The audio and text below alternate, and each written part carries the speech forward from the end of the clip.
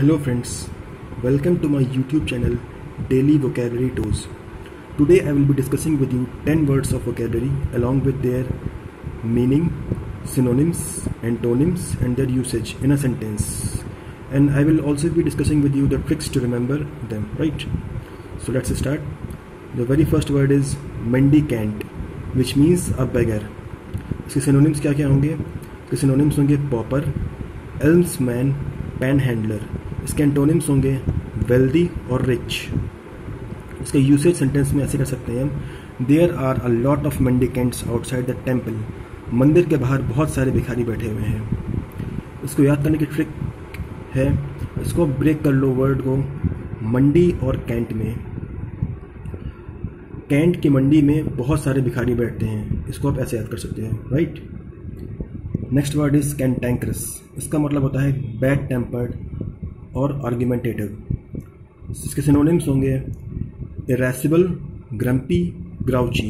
इसके एंटोनिम्स होंगे happy good natured pleasant cheerful इसका यूसेज होगा सेंटेंस में every one avoids cantankerous person जो लोग कैंटेंक्रस होते हैं, उन्हें नॉर्मली हर कोई अवॉइड करता है। अब इसको आप ऐसे याद कर सकते हो कैंट और टैंक जो पानी का टैंक होता है, अगर कैंट एरिए में पानी का टैंक ना आए तो लोग का टेम्पर ख़राब हो जाएगा, वो लोग झगड़ालू हो जाएँगे आर्ग्यूमेंटेटिव हो जाएँगे right so the next word is wary इसका मतलब होता है कॉशियस अलर्ट या वॉचफुल इसके सिनोनिम्स होंगे सरकमस्पेक्ट चेरी हीटफुल विजिलेंट इसके एंटोनिम्स होंगे केयरलेस रेकलेस रैश इनडिस्क्रीट इसका यूसेज देखते हैं सेंटेंस में. Good students are always wary about their studies जो स्टूडेंट्स पढ़ने में अच्छे होते हैं, वो हमेशा अपने पढ़ाई के बारे में कोशिश रहते हैं अलर्ट रहते हैं या वेरी रहते हैं राइट इसको याद करने की ट्रिक हो सकती है। इसको आप रिलेट कर लो वर्ड वरी से। तो जो वरी करेगा अपने काम के बारे में स्टडीज़ के बारे में, वही चीज़ों को लेके अलर्ट रहेगा या कोशिश रहेगा right so next word is wily wily का मतलब होता है डिसेप्टिव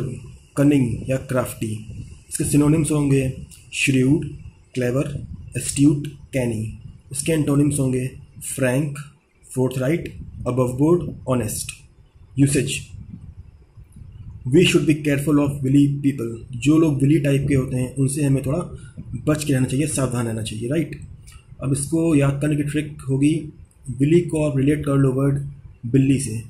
तो बिल्ली काफ़ी कनिंग टाइप की होती है राइट सो so, इसको आप ऐसे याद कर सकते हो।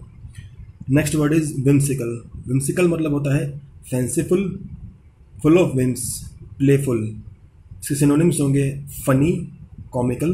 फ्रीकिश और वैगिश इसके एंटोनिम्स होंगे unfunny unreasonable serious boring इसका यूसेज सेंटेंस में होगा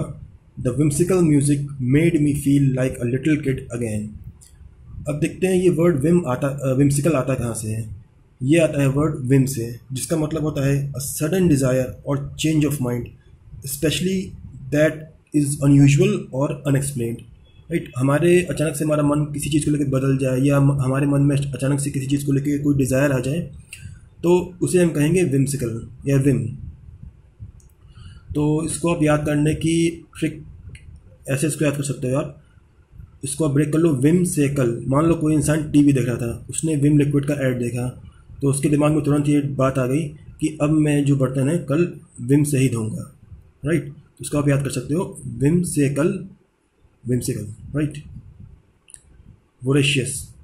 वोरेशियस का मतलब होता है एंथुसियास्टिक इनसेटिएबल या हंगरी इसके सिनोनिम्स होंगे ग्रीडी रेपेशियस ग्लूटनेस इसके एंटोनिम्स होंगे क्वेंच्ड फुल या सेटिस्फाइड इसका यूसेज सेंटेंस में होगा he is a voracious reader right अब इसको आप याद कर सकते हो ऐसे। वो और रेस मान लो कोई इंसान था, वो रेस में जीतने को लेकर बहुत एंथुसियास्टिक था और उसको तब तक सेटिस्फेक्शन नहीं मिलती जब तक वो रेस में जीत ना जाए या फ़र्स्ट ना आ जाए। Right so next word is virulent virulent मतलब होता है डेडली या एक्सट्रीमली इन्फेक्शियस इसके सिनोनिम्स होंगे फेटल मेलिग्नेंट परनीशियस बेनफुल इसके एंटोनिम्स होंगे नाइस जेंटल होलसम हेल्थफुल इसका यूसेज सेंटेंस में ऐसे कर सकते हैं। Nipah virus is very virulent आजकल निपा वायरस फैला हुआ है। केरला में काफ़ी लोग की जान भी चलेगी इसकी वजह से। तो इसको आप याद कर सकते हो वायरस से, इसको रिलेट कर लो वायरस से। तो वायरस जो होता है, बहुत ही वायरुलेंट होता है, बहुत ही डेडली होता है right next word is venial venial का मतलब होता है पार्डनेबल एक्सक्यूजेबल परमिसेबल इसके सिनोनिम्स होंगे डिफेंसिबल फॉरगिवेबल जस्टिफ जस्टिफिएबल इसके एंटोनिम्स होंगे ब्लेमेबल अनअलावेबल फॉरगिवेबल इसका यूसेज सेंटेंस में होगा his mischievous behave activities are not venial उसकी जो मिस्चीवियस एक्टिविटीज़ हैं, वो वेनियल या क्षमा योग्य नहीं है राइट उसको याद करने की ट्रिक ऐसे हो सकती है। इसको आप याद कर लो वेनियल को वीना से,